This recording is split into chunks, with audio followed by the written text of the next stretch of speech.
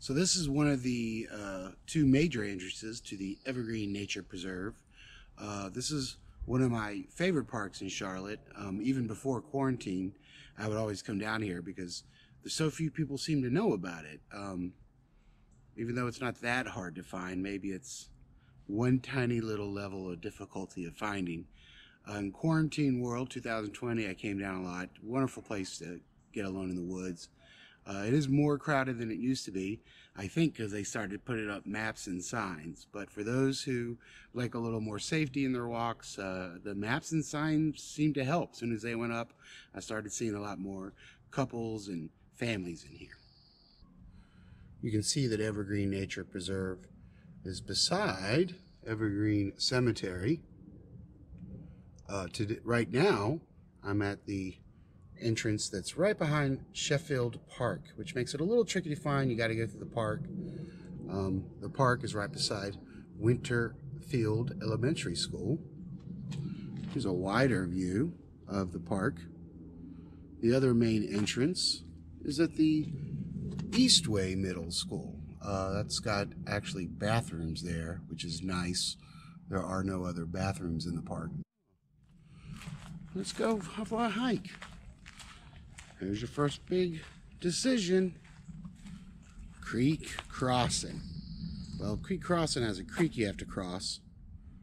Sometimes that gets a little muddy.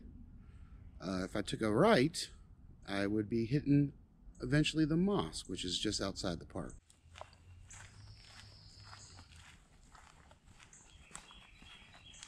The Progress Lane, you take that little side exit entrance, you have a nice little surprise.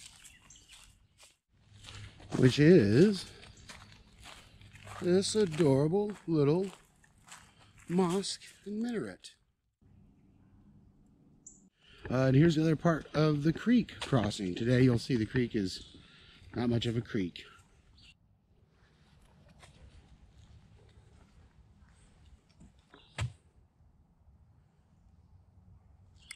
But I always like this creek. It's a little bit different than most creeks in Charlotte. And A, it's tiny. I always like to imagine fairies living here.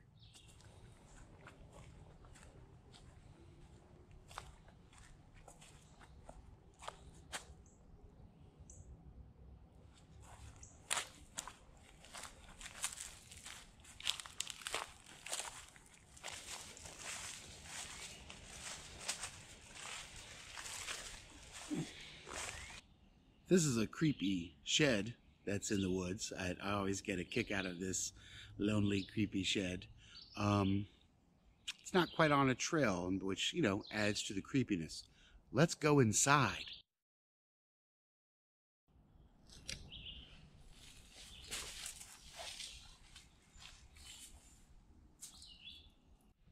Creepy, right? This is one of the secret benches in the park. There are benches on various trails, and there's a couple benches not on trails that I guess are left over from when there used to be a trail here. Uh, and I like the secret benches. I can sit by myself in the woods. Unfortunately, this wood is missing two planks, so it's not as comfortable as it used to be. In Arizona, they would call it a river.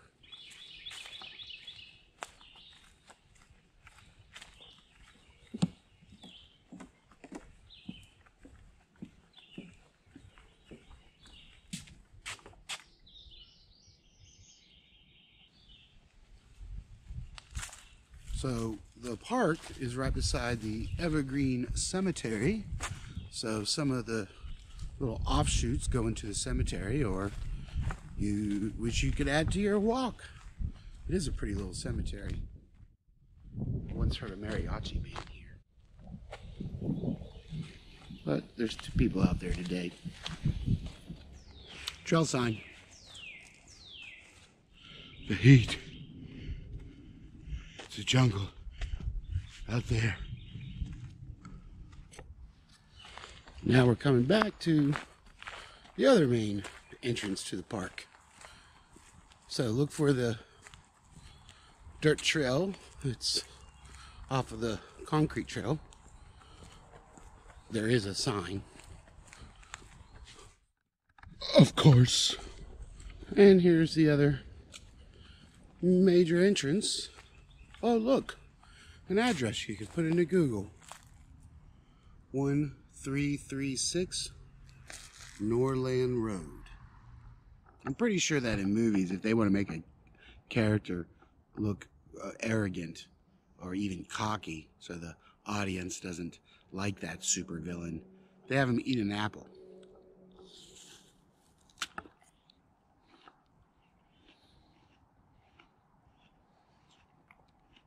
And then they dialogue while eating the apple. They tell their evil plans.